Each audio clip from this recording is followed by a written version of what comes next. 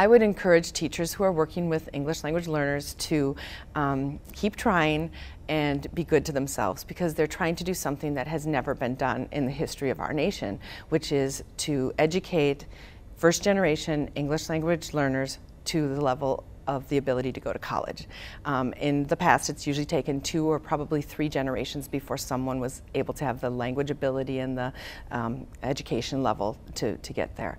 Um, so teachers are doing something really dramatic and it's hard work and they have lots of other students in their class who need them too. So I, I appreciate everything that teachers do um, to learn about their ELLs, to try new things, um, to make mistakes and to try something new again because that's what teaching is about. We're modeling for students how to learn and that we never give up.